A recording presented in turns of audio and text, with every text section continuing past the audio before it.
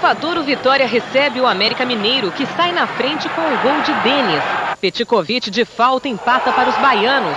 Mais uma falta. O Yugoslavo cobra e o zagueiro faz contra, mas o juiz dá o gol para Petkovic. Final, Vitória 2, América 1.